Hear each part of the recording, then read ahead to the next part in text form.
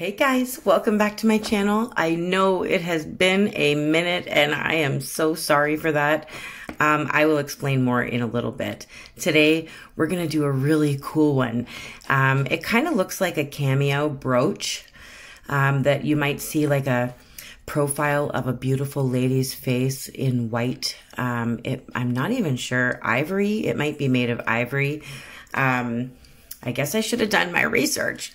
But uh, yeah, instead of doing a beautiful profile of a woman's face, we're going to do a white rose. And we're going to do it in Rachel's Rock style. So there will be glitter, there will be gold, and hopefully an interesting video for you guys to watch. so find something circular, or you can use a compass like I did to create a circle on my stone in the center as much as I could possibly see with my eyes um, it's kind of an oval shaped stone and it's going to get very dark when I resin it. So I am priming it with two coats of white paint. Now I'm just brushing it on with a brush right now to get a more accurate, um, get it close up to my circle as much as possible. And then I'm going to use a sponge uh, from Martha Stewart. It's a sponge dauber, and I'm going to sponge out all of those paint lines. And I will do like a thick coat of that and then let it dry. So that's what I'm doing now. I get these Martha Stewart sponge daubers on Amazon in Canada and also Michael's in Canada. Um, they're amazing. And I will leave a link in the description. They're worth every penny, I promise you. And just rinse them out after you're done using them. Don't let the paint dry on them or they're ruined. So now that my white paint is dry, I'm going to use Ink Spot. It's a nice deep blue. It's amazing. So you're going to like this color if you have it. Um, if you don't, you can use any color of blue that you want. Um, just make sure that you're able to kind of keep it dark. So make sure it's a nice dark blue. So I'm going all the way around the edge just with my fine lining brush for now just so that once again, I kind of keep my circle and I don't sponge all over the place and make a mess of things. Um, I kind of do it like I did uh, as a child with a coloring book where I outline it and then color it all in on the inside. It just made it easier for me to not go outside the lines. Um, but you do you guys, you do you. Um, so yeah, I'm just going to sponge this in just the same way I did with the white using my sponge dauber. You can see my big old hand in the way. Um, and I'm just making sure there's a nice even coat of that ink blue on there. And then I will be lightening it up with a little bit of Folk Art Aqua. And I will make sure to list all of these paints in the description, I promise. So there we go. Got a nice even layer as far as I can tell. Nothing's perfect. Can still see a little bit of white, but I'm not worrying about that. Uh, we're going to be outlining. So we're going to clean it up, all those edges. So uh, now I'm just kind of trying to uh, lighten the center using a little bit of aqua. And I'm using the same sponge that I was using for the blue. So I just kind of dried it off on my towel a little bit. And now I'm just lightening the center. Lightning, light, lightning. Thunder and lightning the center. So yeah, just kind of a little bit, just to give it some some uh, depth. I don't even know which words I want to use. I just know how I feel about it. so now that I've let it dry, I'm going to put some hologram 2796, which has like this gorgeous teal diamond like sparkle to it. And I haven't used it in a while and I've missed it very, very much. So I thought it would be nice for us to all use it together. So I'm just making sure there's a nice even layer everywhere of the blue sparkles. You can also go over it with a sponge, uh, just like I did with the blue and the white, to make sure that your glitter is all evenly dispersed throughout the, the blue area. Totally up to you. I'm just using a paintbrush. Um, the glitter actually looks pretty good once it's dry anyway. So now here we go with some white.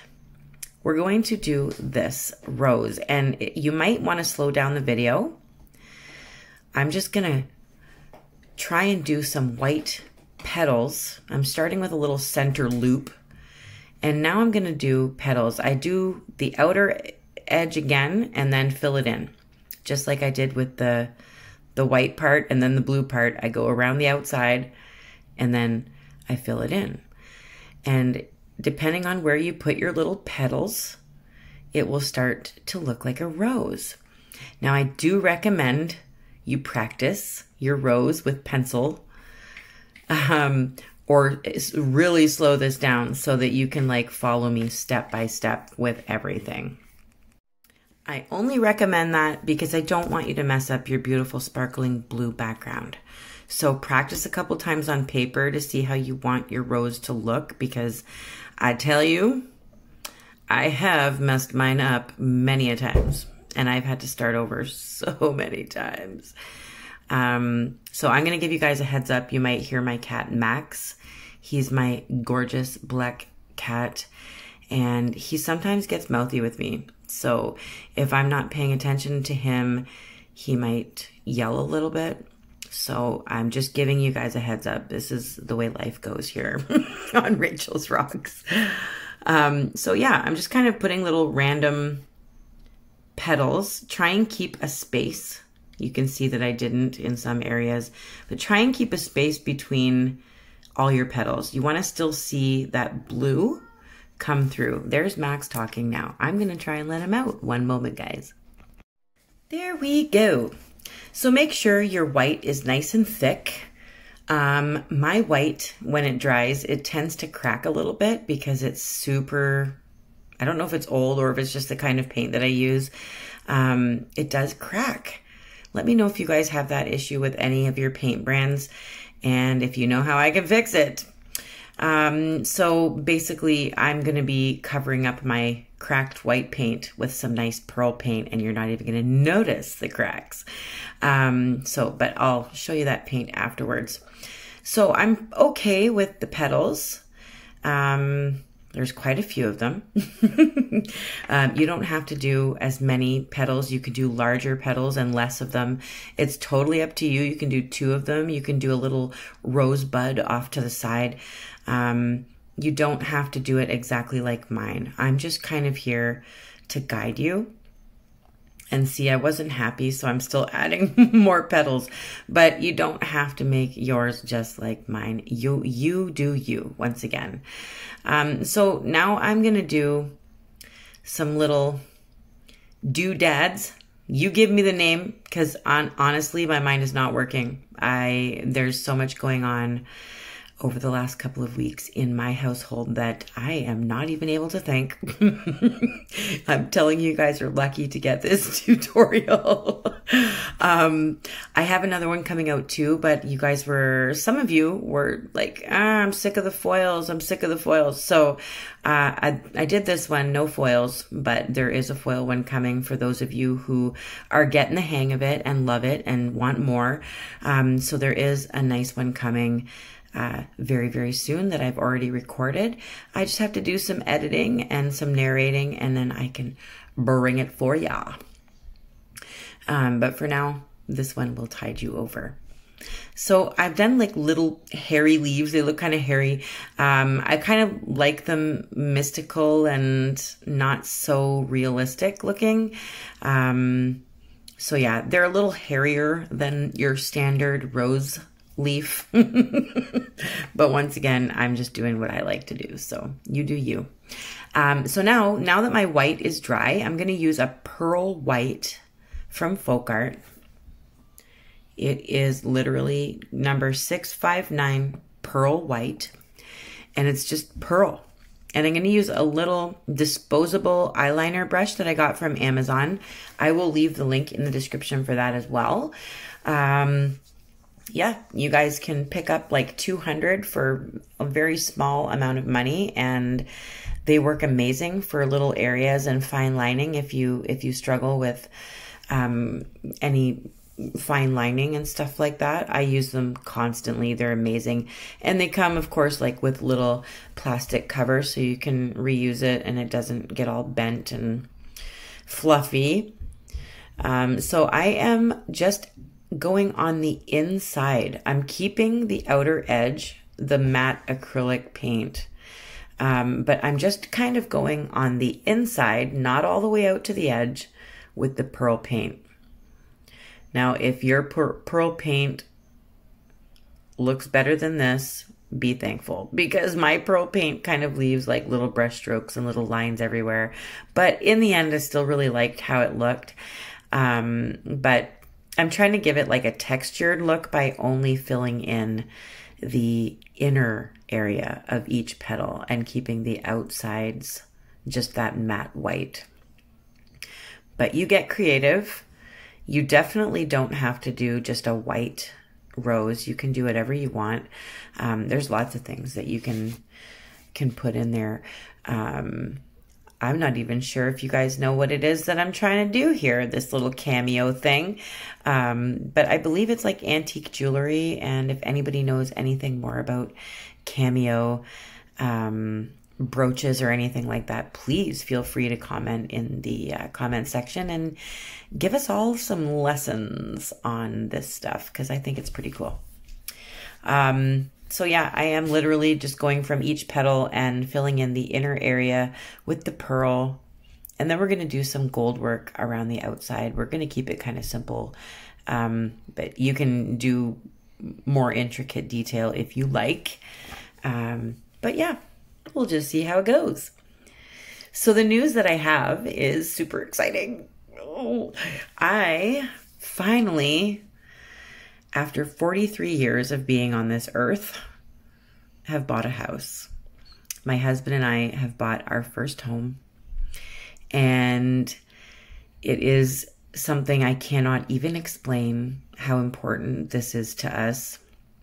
Um, I was moved around a whole lot as a child, um, and no, I wasn't like, um, it wasn't because I was like an army kid or anything like that, or a navy kid or anything. I'm I'm not. I was my mom liked to move around a lot.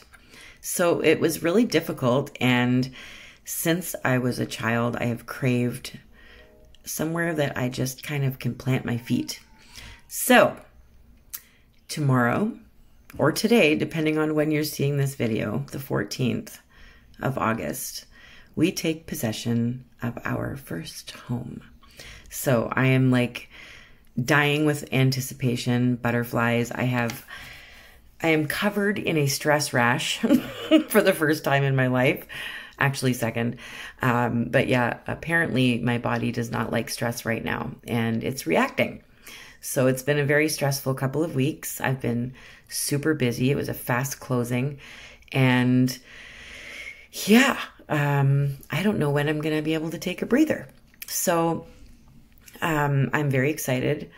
And I'm also excited to be able to share with you guys because you guys mean the world to me. And believe it or not, every single one of you, even just watching my videos on YouTube, giving me a thumbs up on Facebook or, you know, sharing, sharing a picture of one of my rocks, you guys have helped me.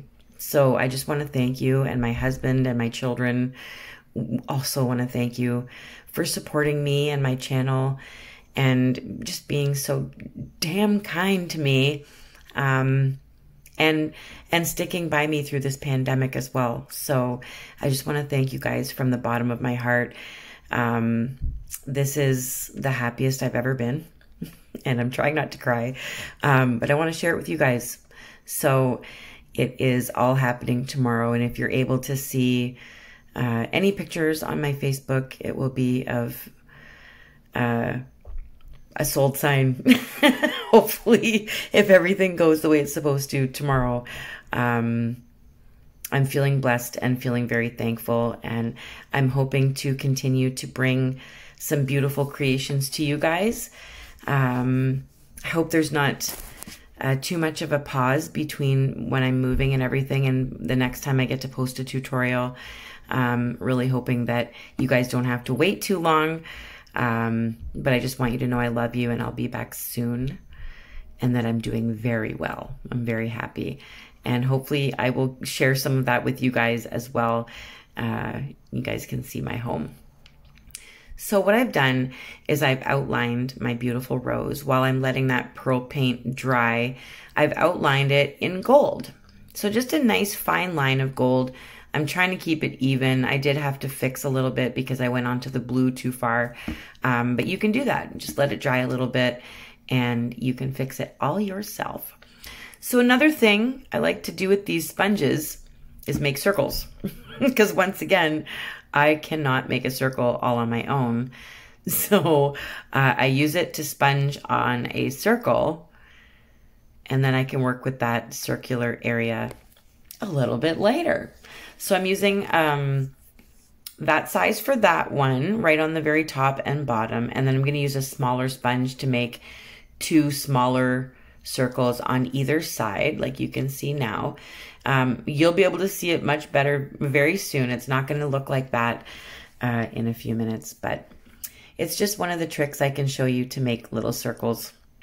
Now I'm using a dotting tool and I'm going along the sides of those circles to make smaller circles and I'm just going to make a couple more and just gradually make them smaller as they go down the side of the circle.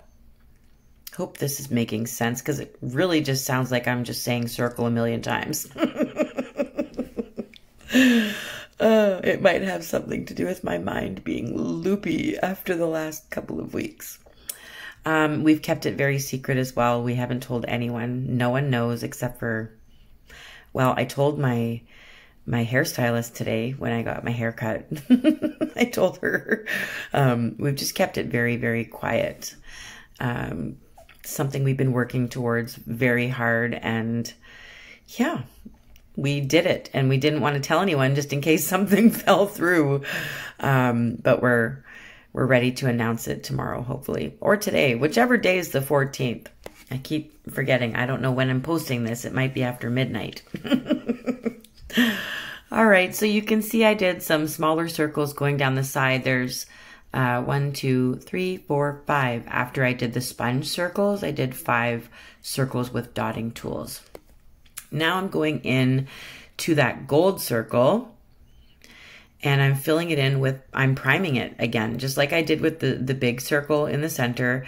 I'm priming the little circles because they're going to be blue and I want them to be bright. And I'm going to do like a little jewel technique on the biggest, the biggest white circles. Um, if you have a hard time with this jewel technique, I do have a tutorial that will help you. Um, it's actually called gemstones or jewel stones. I'm not even sure, but I will post the link in the description and watch that and it will help you to be able to do this part that I'm going to be doing. It's super easy once you get the hang of it. It's so easy. So back to that same colored ink blue. You can do different colors if you want. You can do green, red. It's like a jewel that's sitting in here in this little brooch that's on the rock. So I'm filling it in with blue. And we are going to be going around that with uh, gold again and outlining it so it's nice and cleaned up. It's not fuzzy looking um, like it is now. But basically I do it all one color and then I sponge in a little bit of white on the bottom left, or sorry, bottom right. And I'm only going to do it with the big jewel. I'm just going to leave the other ones regular blue. And then the big jewel is going to be more of a, a, a gemstone type looking thing. So it'll start to look more like a gemstone in a moment. I am going to just outloan, outloan. See, I got loans on the mind after buying a house. I'm going to outloan this in gold. God help me. Okay, so I'm outlining all of them in gold. And then we're going to add a little white bloop bloop to the uh, gemstone to kind of give it that gemstone look even more. So I've lightened the bottom like the light is coming through it. And then I'm adding some little white bloops. That's what they're called here on this channel, guys. Don't expect technical lingo on this channel. See? Looks like a little jewel. Love it. I'm keeping the other ones just regular blue, but I'm going to put a little white bloop on them as well to fake everybody that those are jewels too, but we're not going to try and sponge in that little space. I'm going to do the same thing with the top. But this time uh, when I do it, I'm going to do the lighter area from here, well, the way you're looking at it now, I'm going to be doing it on the top left. But really, if you turn the rock around, it's going to be done the same way that the bottom was done. You just got to watch where your light's coming from, from and uh, do them both the same. So these little sponges are super handy, but you don't have to use sponges if you don't have them. I will leave a link in the description for my blending brush, which I use for this kind of thing all the time. It works great if you don't have a sponge.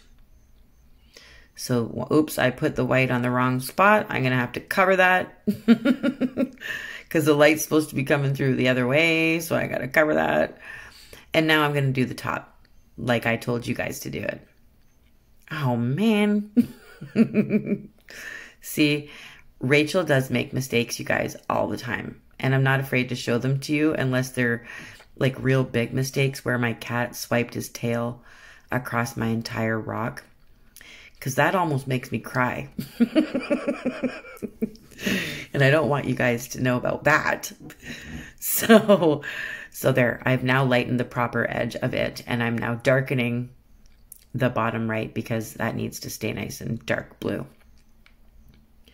So once I get that right, I'm doing the same thing that I did with the other parts. I'm going to surround them with gold again, clean them up, make sure that the gold circle is, is showing all the way around. And literally that, um, the sponge just gives us like a guide. So we can clean it up and make it look better. Um, but the sponge gives you that circular effect so that you don't have to work so hard at trying to make it look right. Just a little tip from little old me. So I hope everyone is doing well enjoying the summer months. If it's summer where you are, it might not be, which is something I did not know until my later years in life. I did not know that some people have summer in the winter time where I'm having winter, they're having summer. I had no idea. It's fascinating to me. So I've done the same thing. Top and bottom look pretty much the same. Nothing's perfect.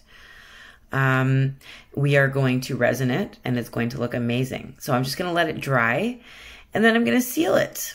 Once again, it is going to go super dark because resin will make it darken right up if you have a stone. Um, run it under water and see how dark it gets. Peekaboo. Peekaboo. I'm in love. Look at that. Look at that hologram.